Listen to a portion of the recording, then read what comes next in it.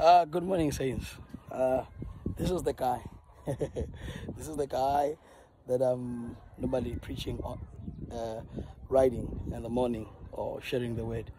Um, this is a warning or maybe a quick message.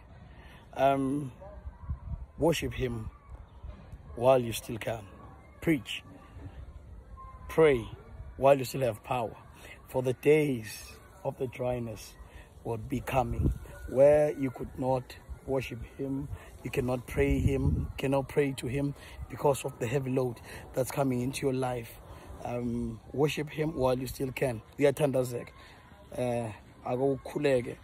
Ushumayele uthandaze usenamandla. Usiyafika isikhathi sokuphela amandla.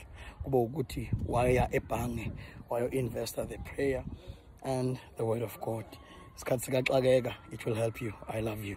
Be blessed